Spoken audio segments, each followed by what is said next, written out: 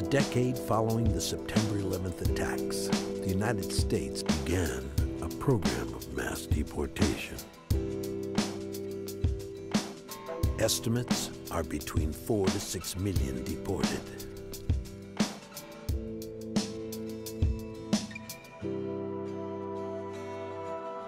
Those hit hardest were Latinos, primarily Mexicans, who make up 97% of those deported. Rejected by America, rejected by Mexico, they struggle to survive along the border.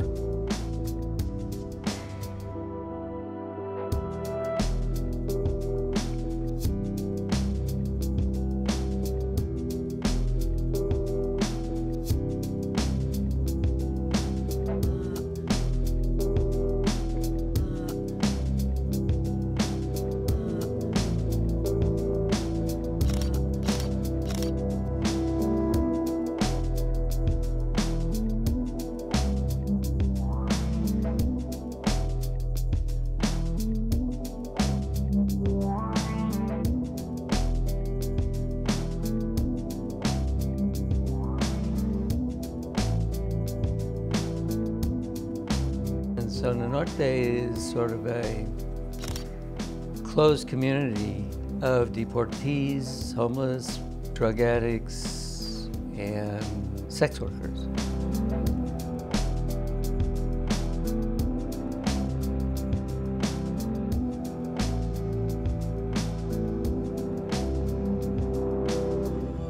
This is where most end up. Pues Prevencasa hace un recorrido eh, por semana. Entramos diariamente a la canalización dentro de diferentes compuertas que se le llama. Este es, digamos, de la compuerta 1 a la 9 y mm, este es lo que es el área del bordo, donde está la, el cruce internacional, donde está la línea fronteriza. Tratamos de entrar una vez por semana para hacer la prevención con las personas usuarias y deportadas y ver las necesidades que tienen.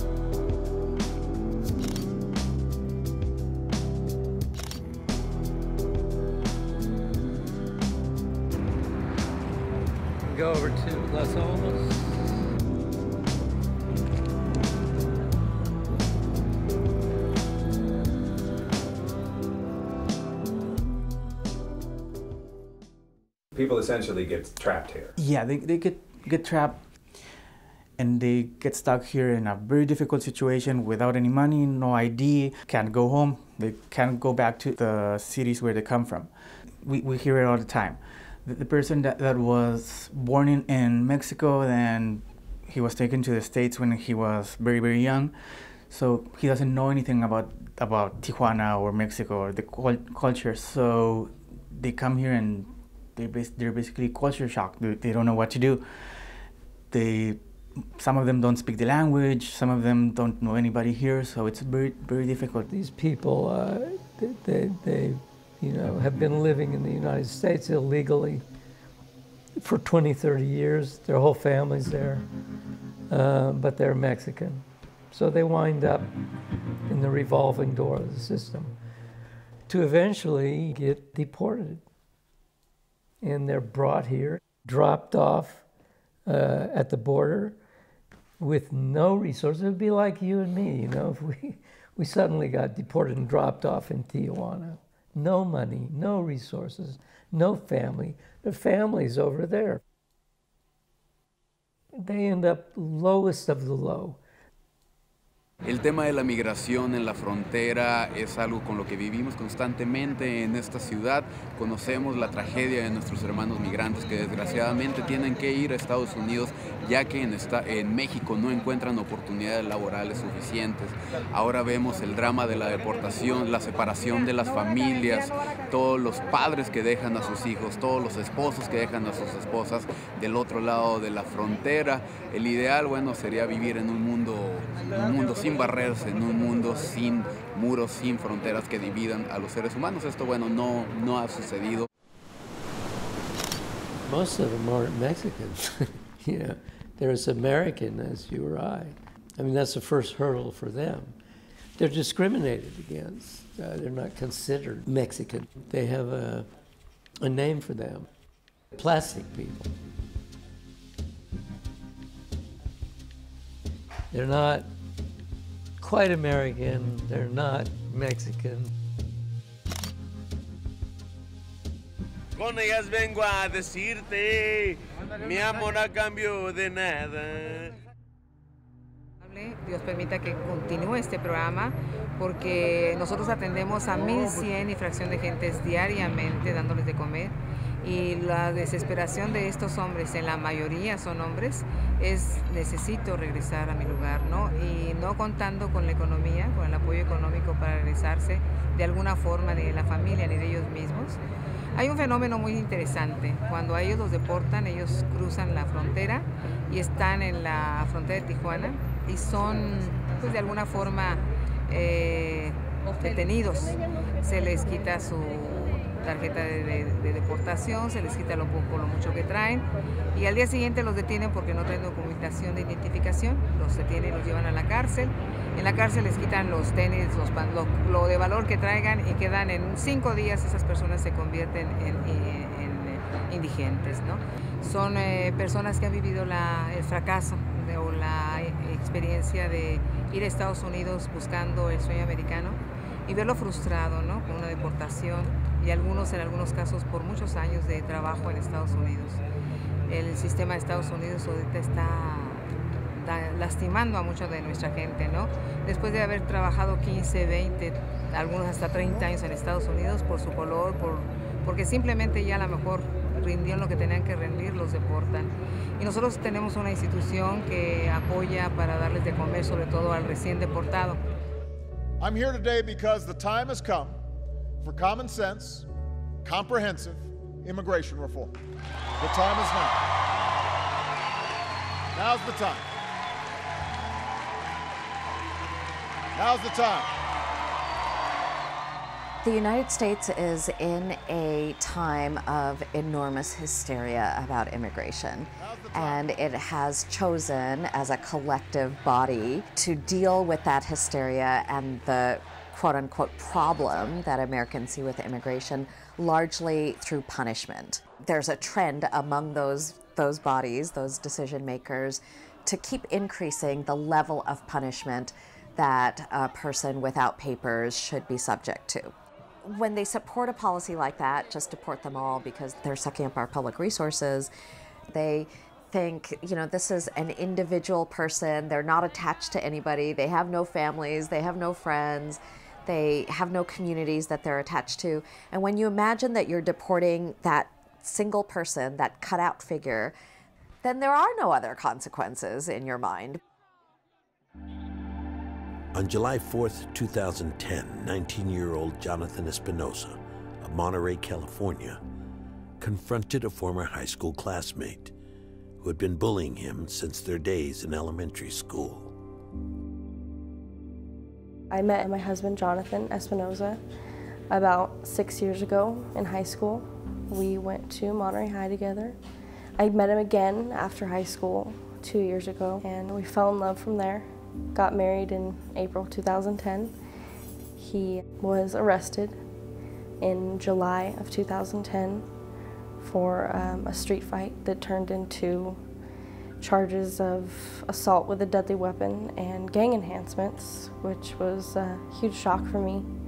He stayed in jail, Monterey County Jail, for about eight months from then on. And pretty much the whole time, we were thinking that he would either be released or deported.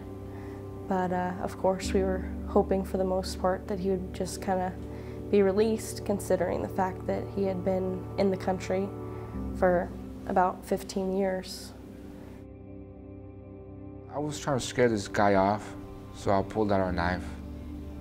It wasn't much of a big knife, it was just a small little pocket knife. I pulled it out, and so he, he starts running, and he, and he falls and he trips over. So I just kicked him and punched him and ran away. And then I get caught by the police. It wasn't nothing big. I pulled out the knife, but I never used it. You know, I didn't even know why I did it. I just, like I said, I was trying to scare the guy off.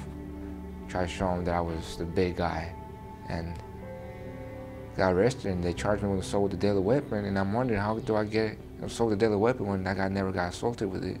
For Johnny Espinoza, he was charged with assault with a deadly weapon. Assault isn't actually contact, it's the threat of contact. Battery is where actual contact is made. So now they, they, they wanted to register me as a gang member and everything. And it's horrible, you know, it's, just because you're Hispanic or anything doesn't mean you're a gang member or just because you got in a street fight or anything. Everybody gets in fights. In this case, Johnny Espinoza was not a gang member. The assault with a deadly weapon charge was enhanced with a gang enhancement, as was street terrorism, which is uh, issuing threats on a public street of some kind. So the gang enhancements become an incredibly powerful tool, which are disproportionately being applied to people of color and minorities regardless of their actual involvement with gangs. What they're doing is taking people that may have a initial and what could be their only brush with law enforcement and turning them into lifetime criminals, turning them into felons, giving, building up enough strikes that they're receiving lifetime sentences, and in the case of people that aren't American citizens, lifetime deportation. So meaning that that to from from right now, I would never be able to go back to the United States.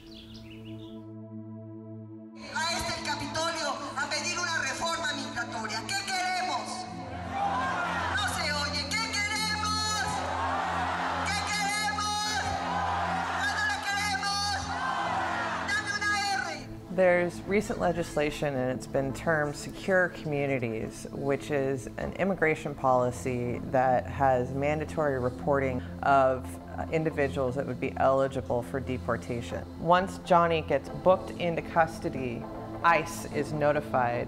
Immigrations and Custom Enforcement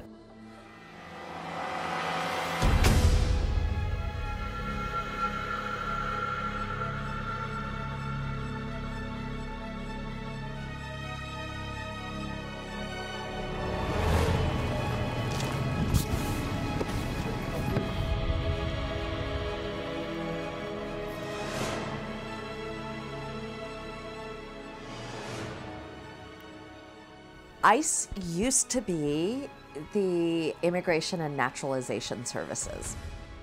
After September 11th, when the Department of Homeland Security was developed, Immigration and Naturalization Services were moved into Homeland Security and renamed Immigration and Customs Enforcement.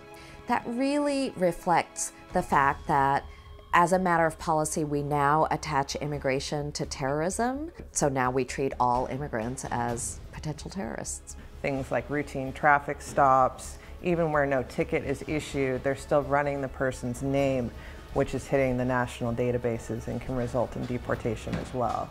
It's not coming to a lawyer, it's not coming to a judge. It's essentially as if a, an employee at the DMV were determining whether or not you could be excluded from the country that you grew up in and from the woman that you married based on a single day in your life. ICE is a word that is actually meant to make your blood run cold. You know, if you are an immigrant, you are meant to be afraid of ICE. When they get deported, they basically, the deportees, they get thrown into Mexico and just figure it out, do, do what you can to survive. They stay here without ID, without jobs, so they, they have to do something. So a lot of them start living on the streets, and that's where a lot of them get hooked on drugs. And once they're hooked, it's very difficult to get out, especially when they don't have the support of their families or friends or anything.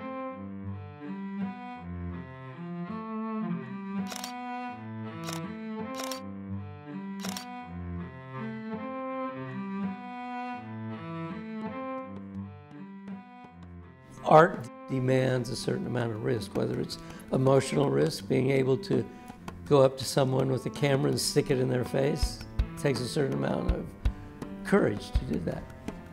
Or actually putting yourself in sketchy situations. I'm a sucker for adventure. I like the dark areas of cities, I like chaos. I think there's a certain richness that you don't find anywhere else in Tijuana. I hung out in Zona Norte because I was attracted visually as a photographer to the area. The faces, the characters made for sort of a, a visual treasure trove, you know, for a photographer.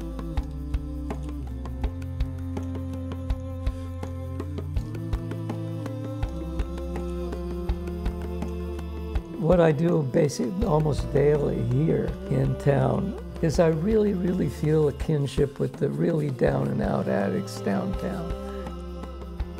And I don't know, I, I like to go down and document them with my, my camera, you know, and, and, and get their story out there. And somehow I hope, you know, I'd really like to, to help even one or two of these people.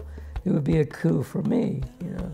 It, it's really heartbreaking to see uh, what's going on. I was struck by the open using of drugs on the Meridian on, on, on Via Rapida. There's a strategy behind that. The traffic moves so quickly and there's so much of it. They can see cops coming and the cops aren't able to stop fast enough to do anything about it, which gives them that window of opportunity to do what they have to do I wanted to go out on the Meridian and take, take shots of people shooting up there. I saw these two guys, Güero and Dragon. They were walking across the street. And I asked them, I said, hey, what are you guys doing? You guys you know, want to make a little money? If you do, would you allow me to take some, some photographs of you uh, doing what you do out there? And they were, you know, more than happy to oblige. So we went out, we did a shooting, and they invited me into their little home, and start from there. Yeah. My name is uh, Javier Godinez Mondragon. I go by the nickname of Dragon. This is my, my friend named Joel. They call him Güero. And we both stay in this place uh, for the last two years. I went to the States when I was uh, 13 years old, and I lived there till, till I was about 29 years old. And the reason why I didn't become a citizen, it was because um, paperwork and stuff. You know, I, I should have been citizen, I guess, in my teens, but you know, because of paperwork, took so long, and always, always, they always putting it, putting it away for another date. It, it became the, I guess, too late. By the time that it, I, I, was to become a citizen, I had already committed a crime. Um, was, I had a small case of dope. It was uh, marijuana and I ended up being deported after I got out of prison. My, I, I left my wife, my two kids, my mother, my brothers, my sisters, everybody. I'm, my entire family lives in the States. I have no one here in Mexico. Okay, this is what I call home. This is the place that I stay at, and it's not very much, but I, this is where I've been staying for the last couple of years. Very, very sad place. I don't have very much. Everything is big mess. Right now we're lacking electricity. We're, we're about to go get uh, some electricity right now, but there's three of us that staying in this place right now. And, you know, some of us are have been using drugs, honestly, and and you know we're just trying to we're just trying to survive right now they're uh, focusing on cleaning up that part of, of Tijuana. Uh, chief of police gave an ultimatum either they get out of there, find new places to go, or they will be dealt with by brutal force.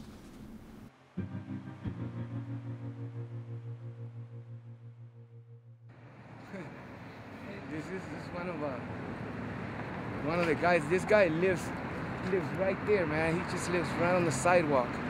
I've known him for about I say about well since I've been here, close to two years, and ever since I've seen him.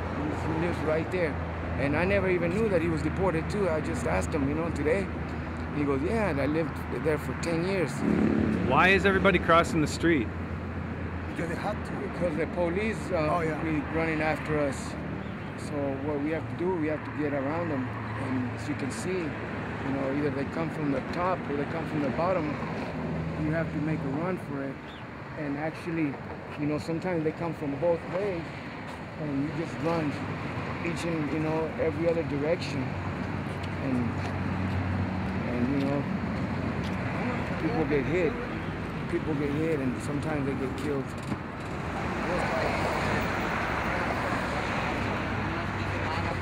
La gente, la policía los empezó a rodear, por culpa de ellos el güero se, se aventó para acá con su carro. He said that three weeks ago, well, they were being chased. That um, one of the guys, uh, they were getting surrounded right there. he- that's where he got hit. They call him Güero. He got killed right there. He was one of the El guys. policía riendo, se le hizo un pinche perro menos, dijo que se acabe. El otro día casi me llena la puerta.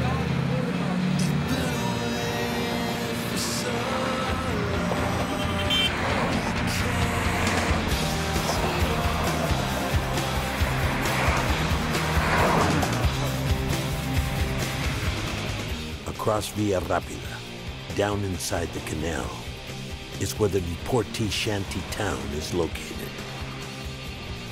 Every day, hundreds of deportees race across the Rapida to avoid police raids and escape to the safety of the sewers.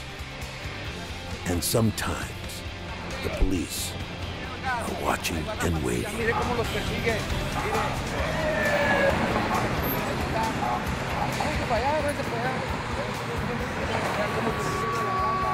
Mire, mire, oiga, ya.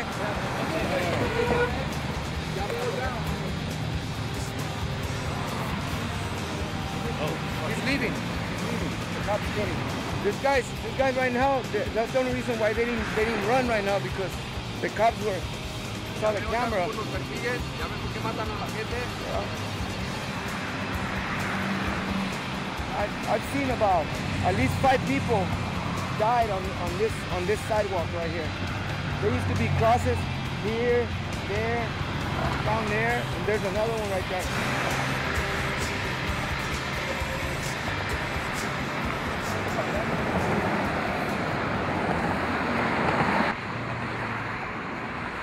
The, the cops over here, they're, they're, they're a handful. Right now, right now we should take a walk because there's a, the truck is up there. So they wind up in, in this dry riverbed. You go down there, there's hundreds of people living down there, and their life expectancy is not long. The scene down there is something like out of uh, Dante's Inferno.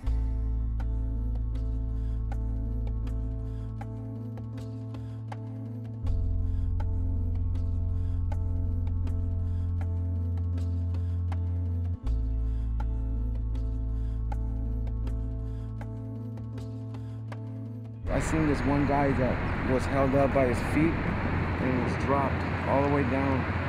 Of course, he never never made it out of here alive. And that's what some of this some of these cops use this to get rid of people.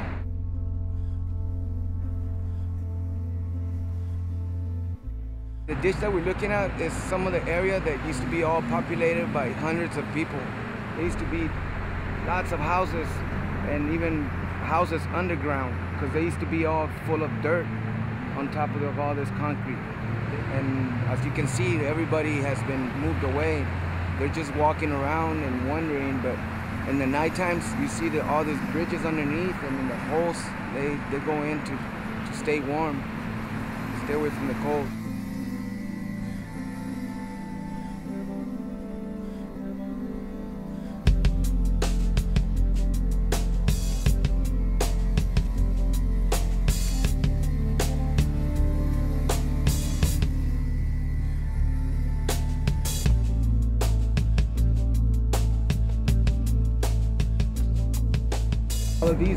Homes for people, you know. At nighttime, it's full of people. Everybody's out right now trying to make, you know, trying to make ends meet. But as you can see, it's, it's the sewer. This is where people live right now. Lalo sleeps right there.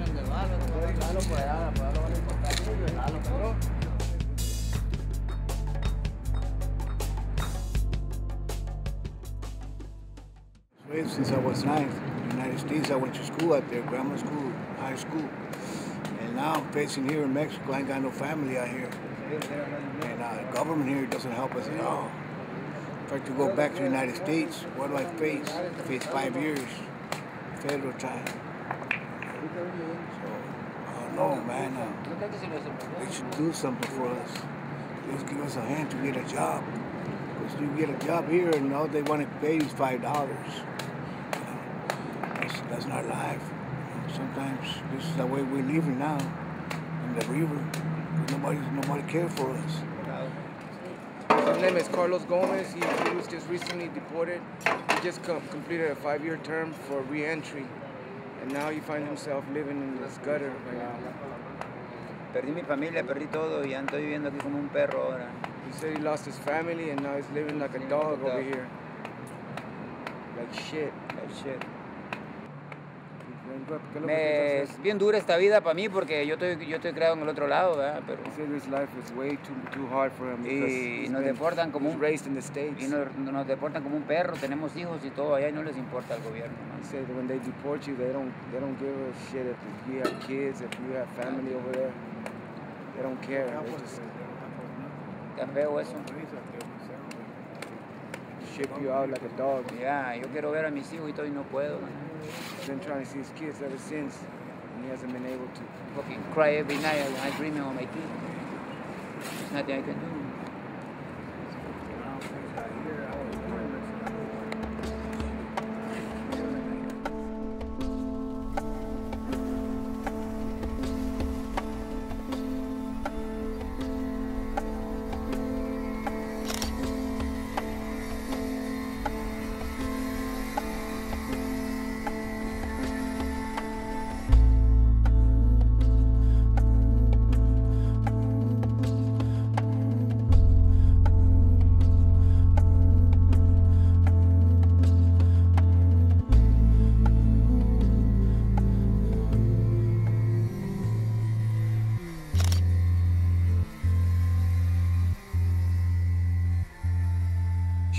Actually, didn't start getting high till I was like 30 years old, and I mean, it seems like my my life really started going downhill after I was deported. But believe it or not, I used to get high just off, off life, off of playing baseball, just doing things with my family.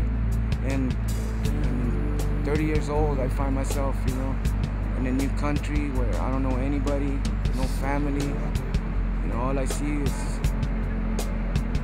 what what is around me. And I mean, there was nothing good around me.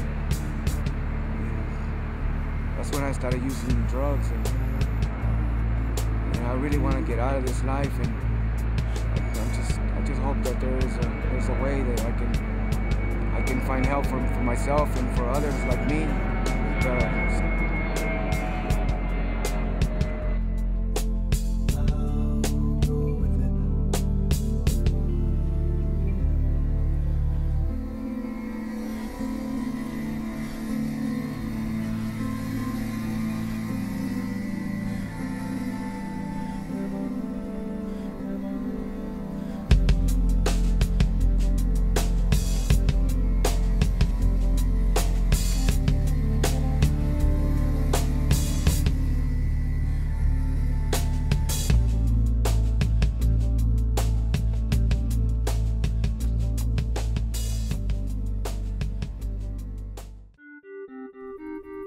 Between the two cities lies 10 square miles of unpopulated security zone, patrolled by Homeland Security on land, sea, and air, 24 hours a day.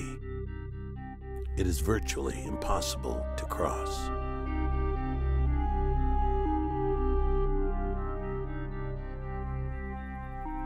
They are continually harassed by the cops. The cops regularly come by, arrest them, put them in these horrible jails for for, for, for 24 hours and burn their belongings.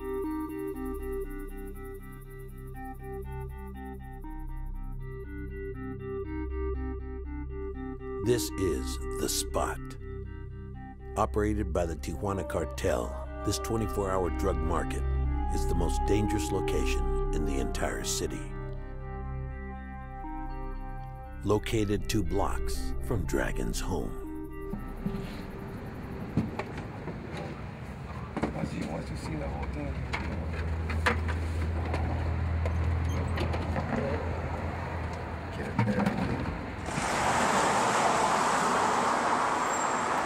See something seemed to ha happen over here. I don't know if it was an accident or somebody getting run over.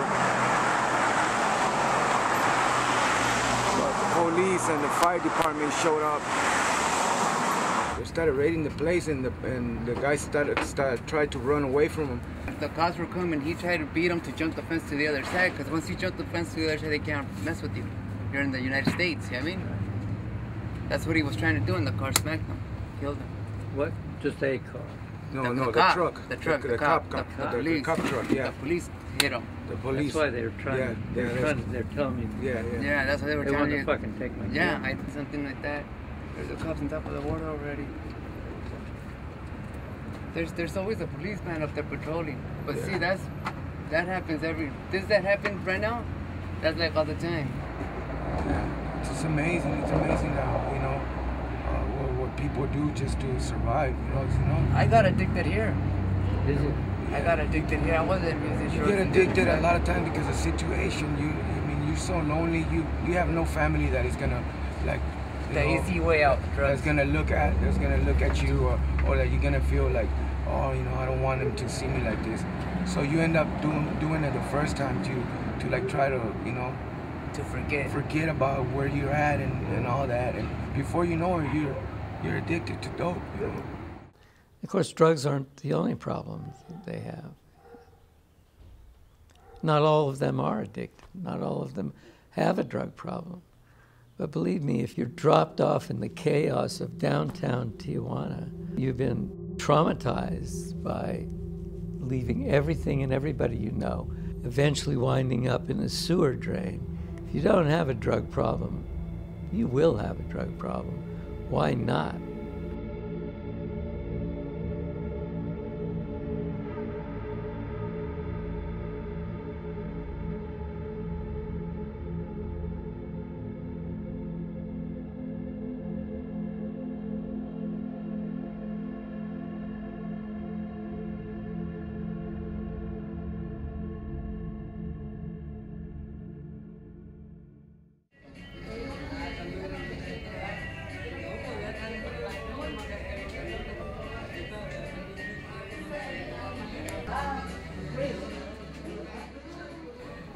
Deported. I've been out here for seven, almost eight years.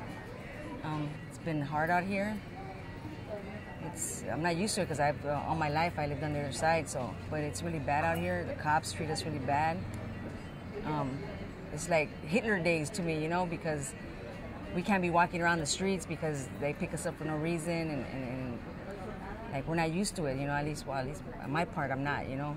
Um, I've seen a lot of ugly things, you know, as far as the police, you know, uh, beating up, you know, my friends or actually killing, you know, certain people that I know.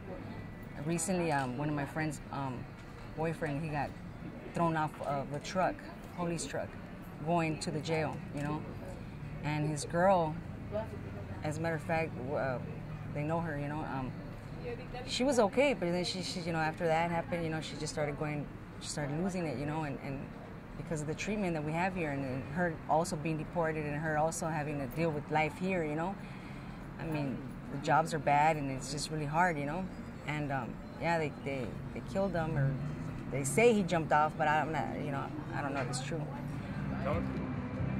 I do different things. I go to the line to clean cars. I um, I sell clothes. I clean um, houses. I help ladies out. You know, babysitting. Um, just different things that come up. You know, I sweep yards, um, clean yards, whatever. You know, and just walk around and see what I could do because the jobs out here, for starters, we gotta have all kinds of you know credentials and, and, and we gotta look a certain way and just like you know it's hard and they pay you like what ten dollars a day, not even ten dollars, like eight dollars a day, you know.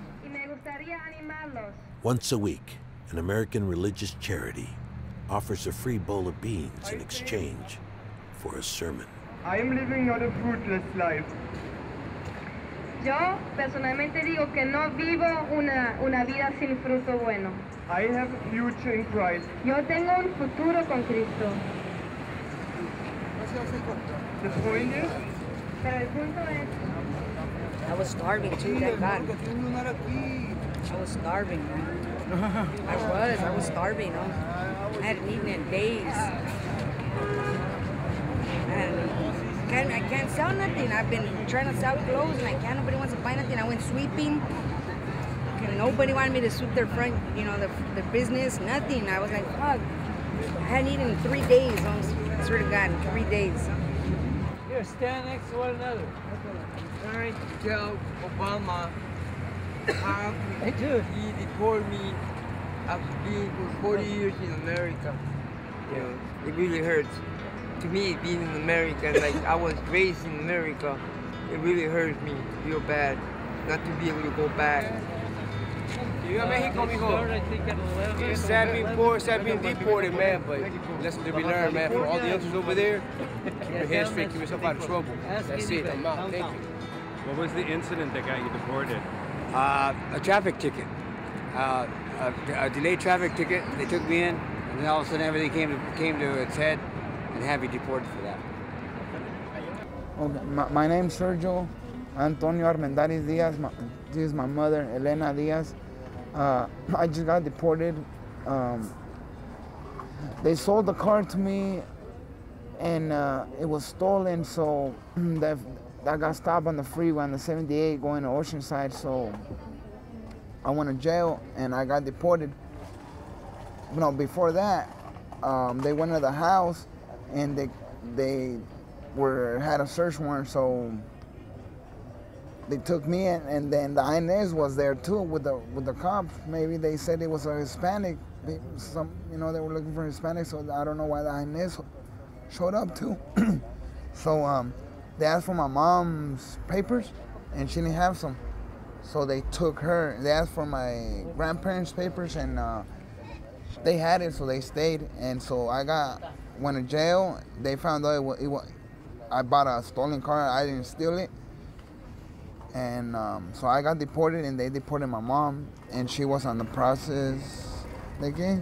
¿De proceso de qué? Ah, dile que ya me habían dado el seguro social y que me habían dado un permiso para trabajar y un permiso para estar allá, pero migración dijo que, que a mí me faltaban tres años para que me dieran, para que me dieran eh, la mica y que por eso me deportaron.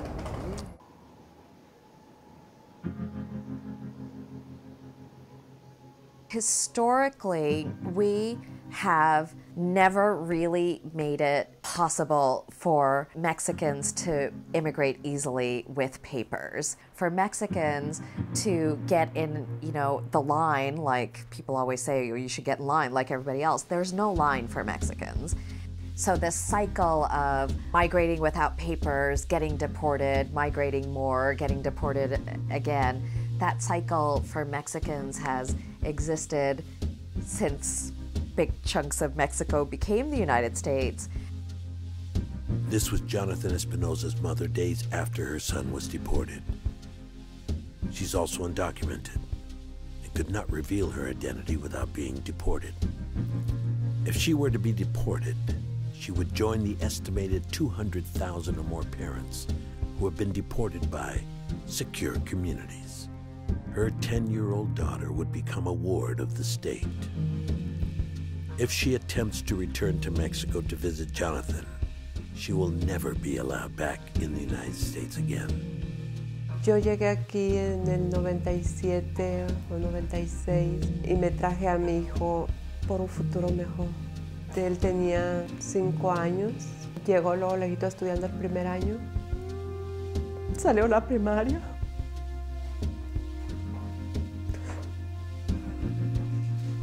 Estudió la secundaria también.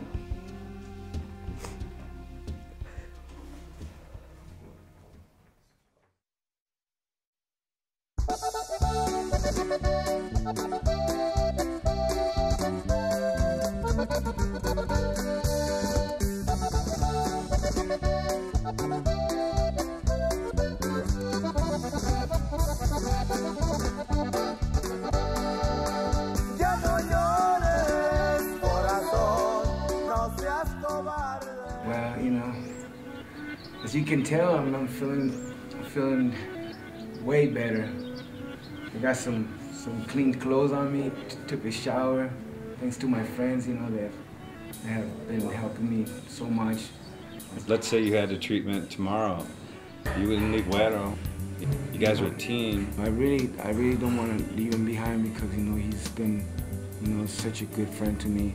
You know, and even though to the up and downs, you know, and he's he's never left my side, and you know we've always shared whatever little bit that we had, and and I, you know, I think it would be unfair for me just to to disappear on him, you know, and not leave him, a, not give him a, a fighting chance either. But I think that if I have to do what I have to do, you know, for first in order to help him, I have to help myself, you know. Es como nos bañamos aquí en, en el, en el ghetto. Más o menos. sí, no, qué loco. Eso como vivimos, carnal. Así es, Somos carnal. tecatos, pero le pegamos el shower. The cops here in, in Tijuana have quotas. They have a certain amount of, of people that they have to arrest per day, and they do it any way possible. Some of them uh, just stick a knife in the guy's pocket or stick some drugs in the guy's pocket and they, they take him off to jail.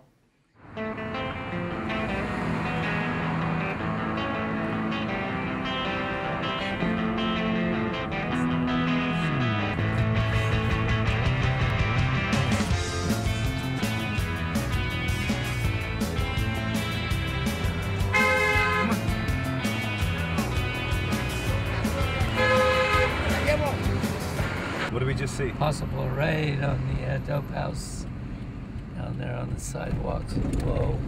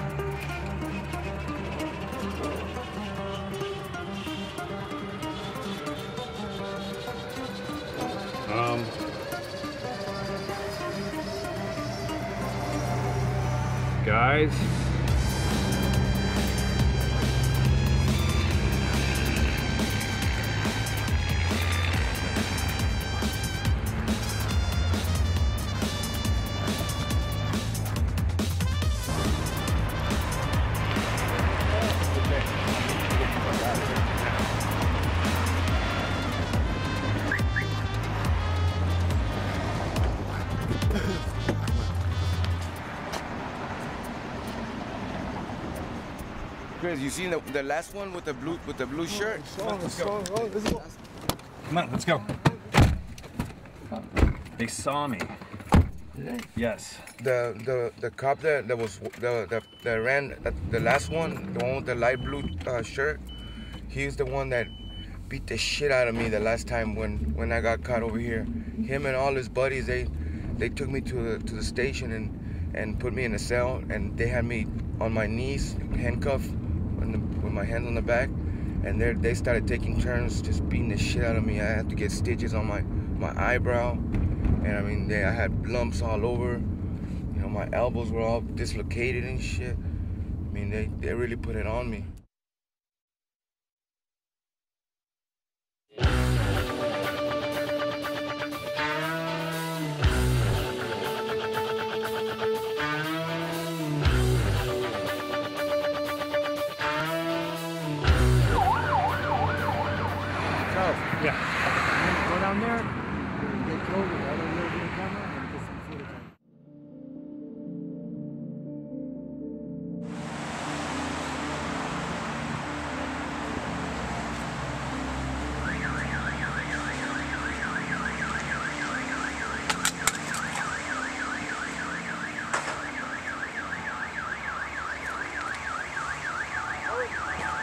Bien, jefe.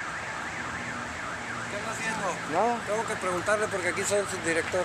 Oh, no, no, no sé. ¿De no. qué se trata? No, de nada, jefe. ¿Está sacando Estaba, foto? estaba esperando a mi amigo que vas a ahorita que, que salga para. pues, lo, lo quiero tomar una foto, el güey. ¿A qué te dedicas? Mm, trabajo ahí en la, en la- por la línea, este, limpiando la rampla, no sé.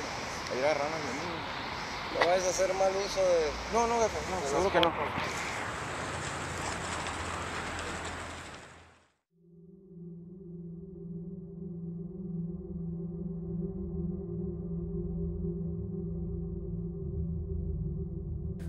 Name is Chris Duque. I was addicted to hero- heroin for 10 years. I moved to San Diego uh, in 2005. Met up with a friend who said that uh, in Tijuana they had cheaper drugs. Uh, uh, cops one day raided me. I was coming out buying like 25, 20 nickels of heroin, all bundled up separately. And they arrested me, beat the crap out of me, took me in for sales. Um, ended up spending three months in Tijuana prison. La Mesa Penitentiary, there's five buildings with three levels, about 20 cells per, per level on either side. Um, made to house six people, there were six bunkers. And I was in the cell with 31, 32, sometimes at most. I was there for the riots, and the reason that they rioted was we just got a week straight where it was just nothing but rotten food, and uh, people just got fed up with it. One cell broke out of their cell and um, attacked the guard and took his keys and opened up the next cells and the next cells. And before they knew it, the whole prison was out. Um, the madness. Uh, you're talking 3,000 people, pretty much, give or take and just running around freely, like throwing guards from the guard towers, lighting shit on fire, um, trying to escape, opening up the women's cell and raping the women, like just like absolute madness.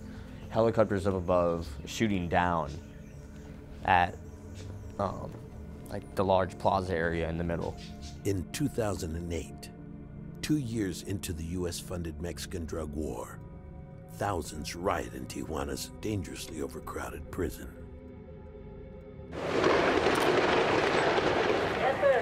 Chaos erupted again Wednesday, both inside and outside Tijuana's notorious state penitentiary, as prisoners began to riot while family members in the streets rampage against authorities. At least 14 people were wounded as federal officers brought order to Baja California's most overcrowded prison with more than 8,000 inmates. Since Sunday's initial riot, thousands of the inmates' family members have been stationed outside the prison, demanding to know the fate of their loved ones inside. At least four prisoners were killed in that incident. They don't feed you, they don't give you toilet paper, there's no water. But uh, the dope runs free. It's cheap, I guess, for the, the, the police and the guards to turn a blind eye. It's cheaper than food, it's cheaper than everything else. Makes sense, you know, just keep them sedated. Um, I was in a cell with, like I said, 30. About 20 of them were heroin addicts, and all sharing one needle.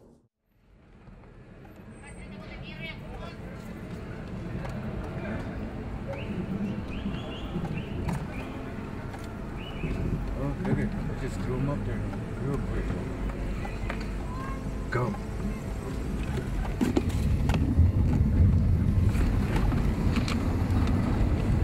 Fuck, I can't get it. Dragon, tell us what's happening. Um, I'm, I'm not sure, but I think it's the same the same uh, um, cop that was earlier this morning, and, I, they might be looking to see if, if they can see anybody with a camera over there, because they're right in front of my house.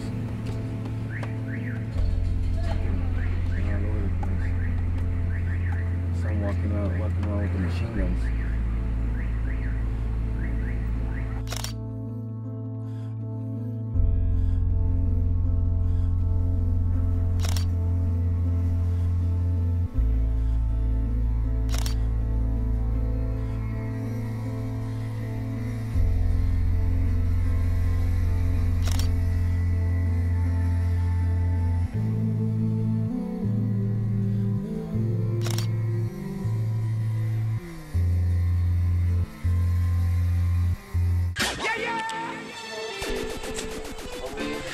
Now they're doing the operativo right now. They just started. They're chasing people around. Everybody just went down the canal. There's a guy. There's a guy that just came out of the, the fence over there. There they are, going after.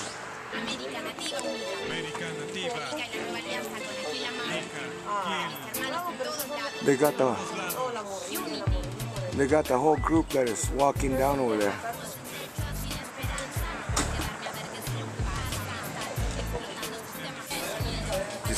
This, truck right now just stopped right now and just pulled two guys right next to me. He tried to get me right now too.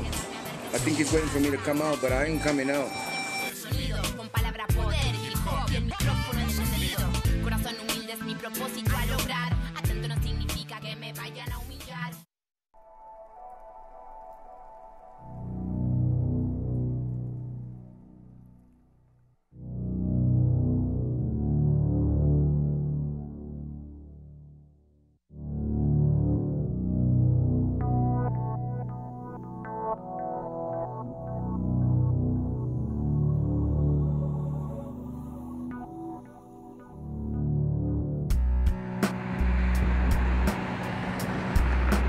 See all the places where I used to live at.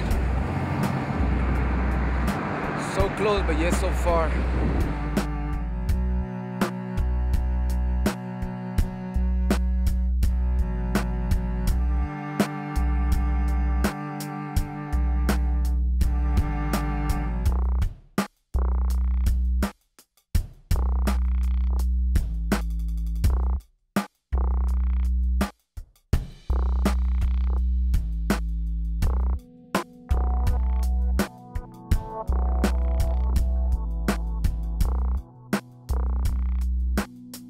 Actually one of the places where people come to spend nights because the police don't come over here and pick you up during the night. They can actually have a, uh, a night's, you know, worth of sleep.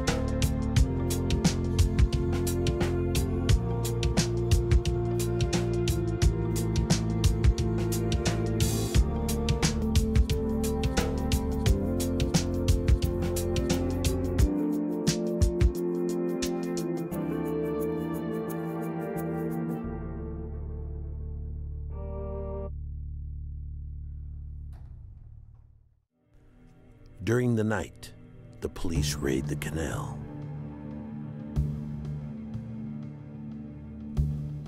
Twelve deportees were killed when police bulldozed their shacks and set fire to their remains.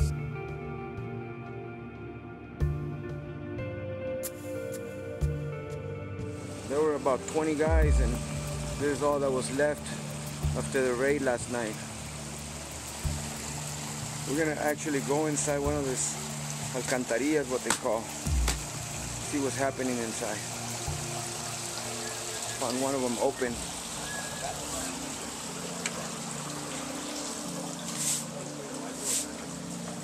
Hey fellas, what's happening? ¿Viendo la talacha? Hey. Damn. As you can see, they have all sorts of things in here. They're doing a little cleaning right now. They're brushing the walls. Simon. Trying to keep the place real clean. And what it says is that the police uh, raided him last night and and burned all their blankets down. So it's a it's a never-ending thing. They start over and over every time. This yellow line right here is the one that divides the two borders. You know, at this point, I'm in Mexico, and I can make one step to the left and actually cross to the United States. We're standing right next to the fence, about to look through this little gate.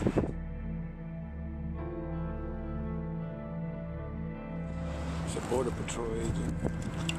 You can see all of the states. I don't know if he's gonna be too happy about me videotaping this, but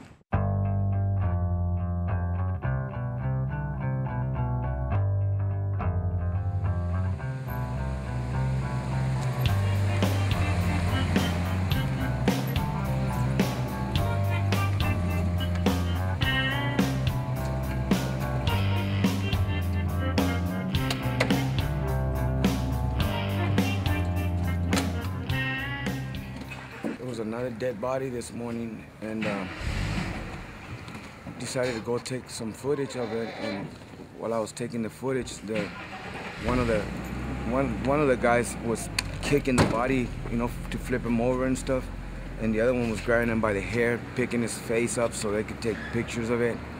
And I guess they saw me when I was taking the, the, the pictures or, or the film, and he pointed at me, and so I started I started just like walking away at first.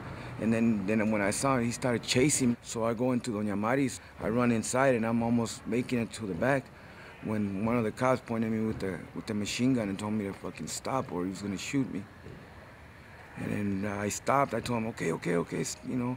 By then, I got I, I got the camera and I, I threw it inside one of the plants. All he was uh, asking was, "Where's the fuck is the camera? Where's the camera?" And I told him, I said, well, what are you talking about? I have no camera. Goes, don't fucking act stupid. Boom, boom. He started fucking hitting me. Fucking, you know, next thing you know, they, they got me handcuffing. They start fucking hitting me more. And, you know, as they're tossing me around, they fucking, they push me into the plant. The plant falls over and the fucking camera just like, you know, falls over. Oh, yeah, so you didn't, you, were, you don't know what, what the fuck we're talking about, huh? He was in his boxer shorts, dressed differently now, and uh, like you know, his cuts on uh, on his legs where they beat him. His legs, he was limping, he could hardly walk. Why they let him out? We paid. How much? Uh, what was it? Forty-three bucks for uh, the charge was being a bother, public, public bother. You said when you got to the jail, they said, "Oh, that's him," and you know that's the guy. Do you think they know about what we've been up to at No, this they, point? they don't. They don't know. They don't know. But um, like I said, uh, I mean, there's been at least another, another, um, another truck or maybe two cars of police, you know, cars that have seen themselves getting, you know, filmed, but they don't know what's going on, you know.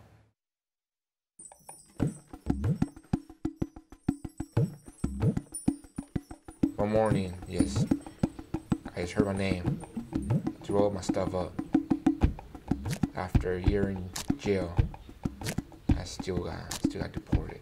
I knew that they were going to just drop Jonathan, Zoe's husband, off in Tijuana. And I knew that Chris and Kat both lived in Tijuana. And so I, I didn't know their phone numbers or anything. I just got onto Facebook. Chris, Chris, please call me. It's an emergency. I need to talk to you right now. My son in law is on an immigration bus headed for Tijuana. Could you uh, try to find him? I told her, you know, it would be like looking for a needle in a haystack down there. I was in shackles for the whole day, since nine o'clock in the morning all the way to the. I got dropped off over here in, in Tijuana.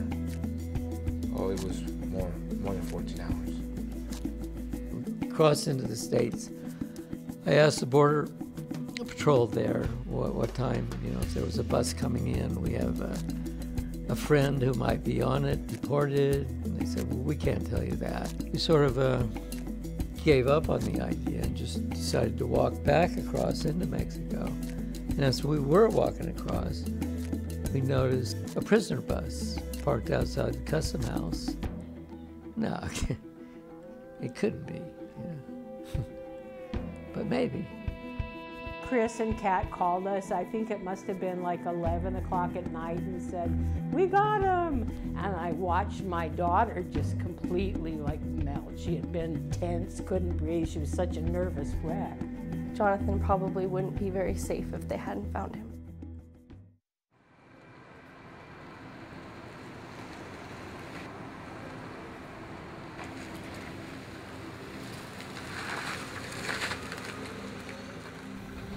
I haven't stepped in Mexico for 15 years.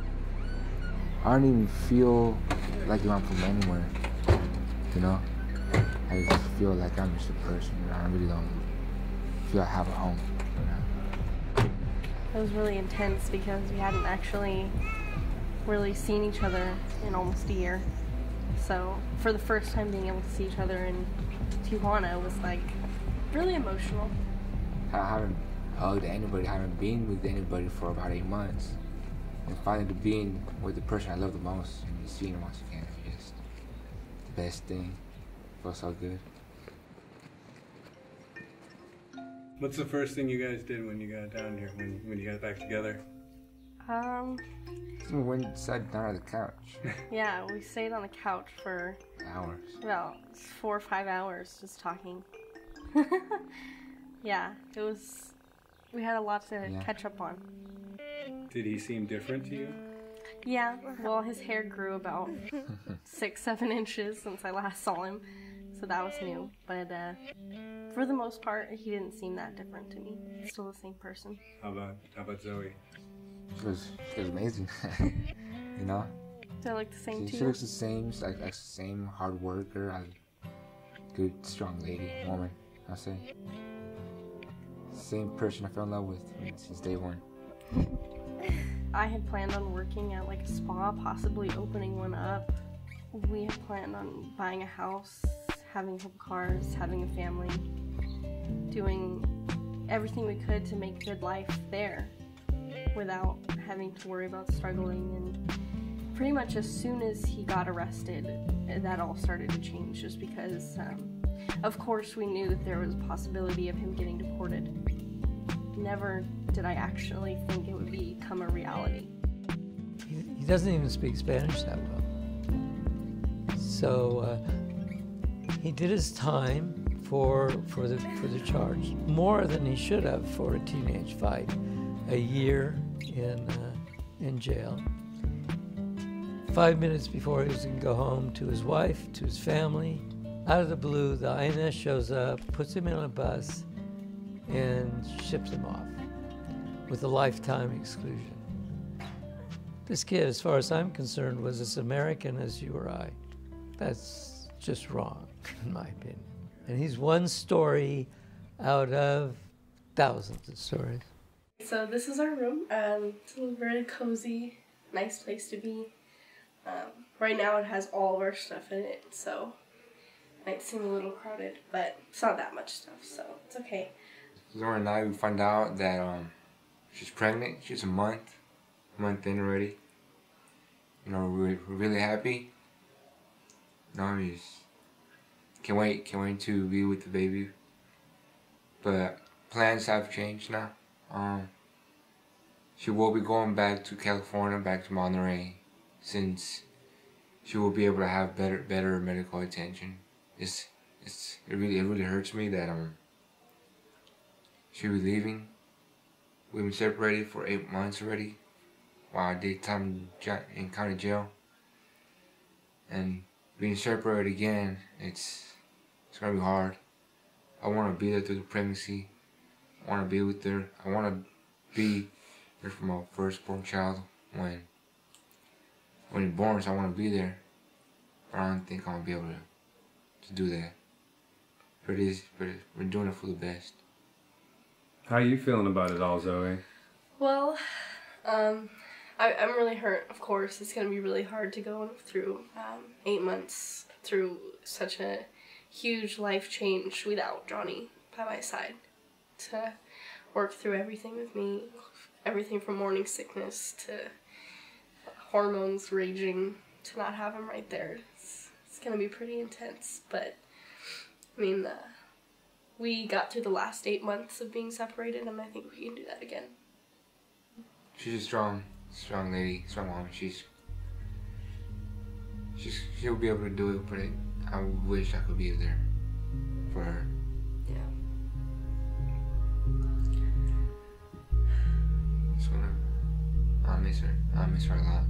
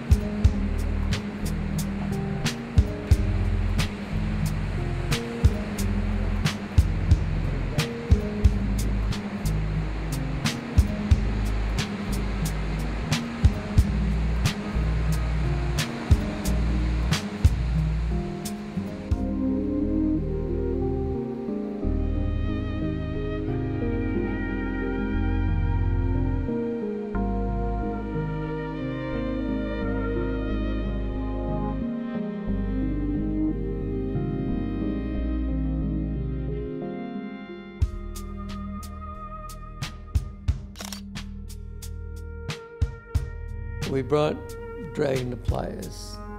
We tried to keep him out of the temptations down in uh, Zona Norte. So we set him up in a, a little sort of aftercare house here in Playas.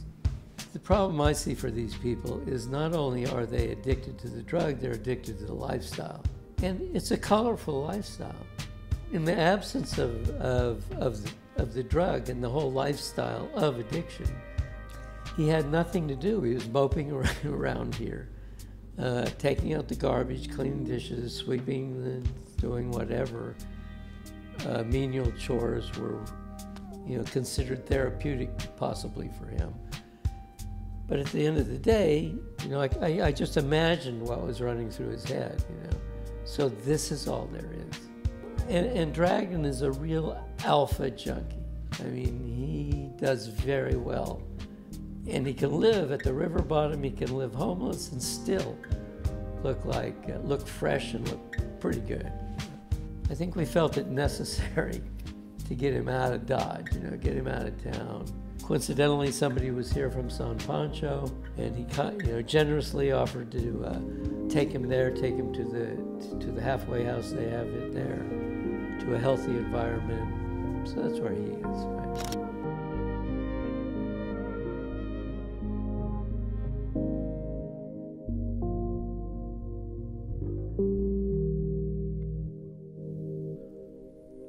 Following Dragon's lead, Güero cleaned up, was able with our help to go home to family in Sinaloa.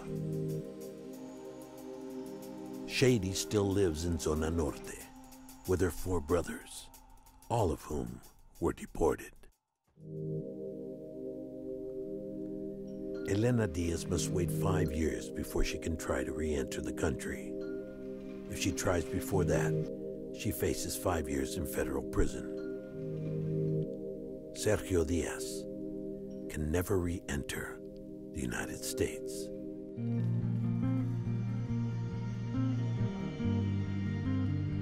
Shortly after Dragon left Zona Norte, his house was torched. No one knows who did it.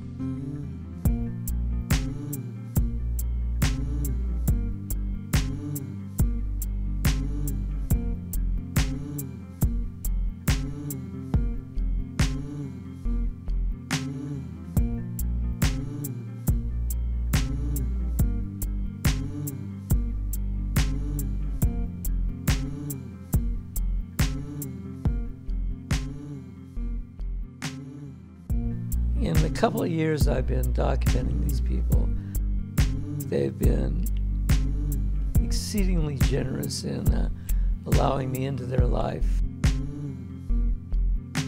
I've never felt anything but kindness from these people and generosity for, for allowing me into their lives. I would hope that this film would show the kind of people they really are. They're just like you and me. Their circumstances are just unfortunate.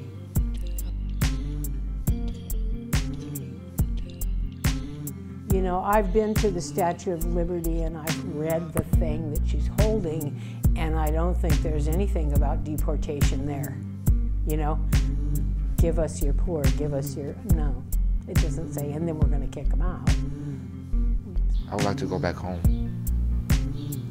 I would like people to see the lives, the struggles that we're going through, how, how hurt we are, how hurt our families are, and is that we're suffering.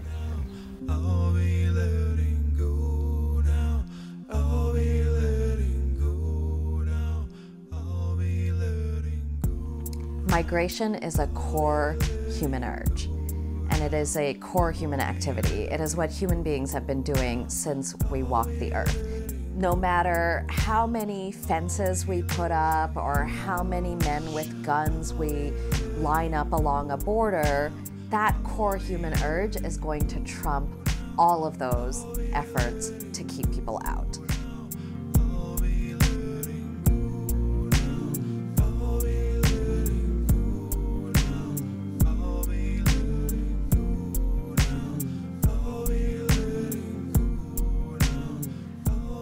Are sons and daughters as much as I am, as, my, as far as I'm concerned. And I think we have a responsibility to treat them with dignity and respect that they don't get over there, they don't get here.